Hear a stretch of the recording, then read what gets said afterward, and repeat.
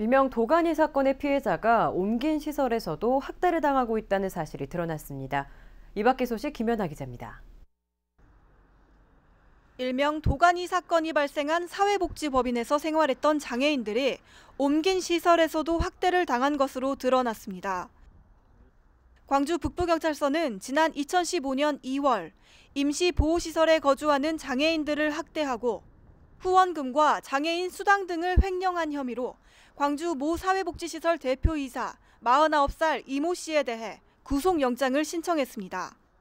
특히 이 시설 피해자 가운데는 지난 2011년 인화학교 성폭력 사건인 일명 도가니 사건이 발생한 사회복지법인에서 생활했던 장애인들도 포함돼 있습니다. 광주 지역 강력 범죄의 피해자 여성 비율이 매년 증가하고 있는 것으로 나타났습니다.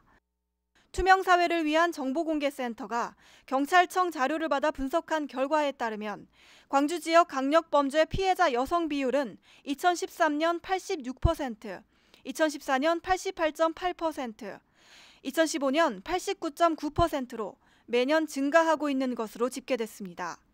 한편 2015년 강력범죄 피해자 여성 비율이 가장 높은 지역은 서울로 91.6%를 기록했습니다. 지난달 광주 지역 고용률은 상승하고 실업률은 하락한 것으로 나타났습니다. 12일 호남통계청이 발표한 자료에 따르면 지난달 광주 지역 고용률은 58.5%로 지난해 동월 대비 1.4%포인트 상승했습니다. 같은 기간 취업자도 74만 5천 명으로 1만 8천 명 증가했습니다. 또 실업률은 2.7%로 0.1%포인트 하락했고 실업자는 2만 1,000명으로 1,000명 감소한 것으로 조사됐습니다. 광주 YWCA가 유권자 선언문을 발표하고 회원들이 원하는 대통령상을 밝혔습니다. 광주 YWCA는 충장로 우체국 앞에서 회원 20여 명이 참석한 가운데 유권자로서 대통령 후보자의 정책을 꼼꼼히 살피고 대통령 선거에 반드시 투표로 참여하겠다고 밝혔습니다. 우리 YWCA 회원들은 이렇게 하겠습니다. 우리는 유권자로서 대통령 후보자의 정책을 꼼꼼하게 살피고 대통령 선거에 반드시 투표로 참여하겠습니다. 우리 YWCA 회원들은 희망 세상을 만들기 위해 노력하겠습니다. 한편 이날 집회에선 탈핵 캠페인도 함께 진행됐습니다. CNB 뉴스 김현아입니다. 다음은 사진으로 보는 광주 소식을 김우영 기자가 전해드립니다. 광주 전남 병무청이 전남 우정청과 사랑의 나눔 협약을 체결했습니다. 광주 전남 병무청과 전남 우정청은 어려운 환경의 사회복무 요원들에게 경제적 도움을 주고자 사랑의 나눔 협약식을 맺었습니다. 이번 협약식에 따라 경제적 지원이 필요한 사회복무요원 21명이 선발돼 한 해 동안 개인별로 100만 원씩 총 2,100만 원의 후원금이 지급됩니다.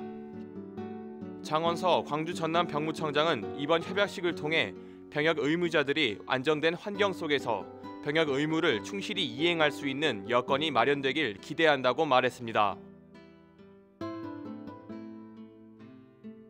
광주문화재단 전통문화관이 세월호 3주기 추모 전통 국악 공연을 개최합니다.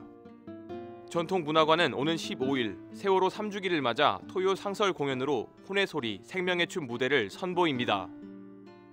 이번 공연은 국악 공연단체 명인 명창 추모사업회가 초청돼 판소리, 가야금 산조, 살풀이, 남도 미녀 등을 펼칠 예정입니다. 매주 토요일 오후 3시에 열리는 전통문화관 토요 상설 공연은 무료이며 누구나 관람할 수 있습니다. 광주 광산구 주민들이 세월호 3주기를 추모하는 촛불 문화제를 엽니다. 세월호를 기억하는 광산 주민 모임이 주최하고 광산구가 후원하는 촛불 문화제는 과거, 현재, 미래로 구분돼 진행됩니다. 세월호를 기억하는 영상과 혼을 위로하는 살풀이, 현재 한국 사회에 대한 이야기를 풀어낸 연극과 미래에 대한 희망을 담은 sand art 등이 이어집니다. 이번 추모 문화제는 13일 수원 호수공원에서 열리며 오후 6시부터 식전 행사로서 기억의 돌 만들기와 미수습자 가족을 후원하는 판매 행사가 열립니다. CNB 뉴스 김우형입니다.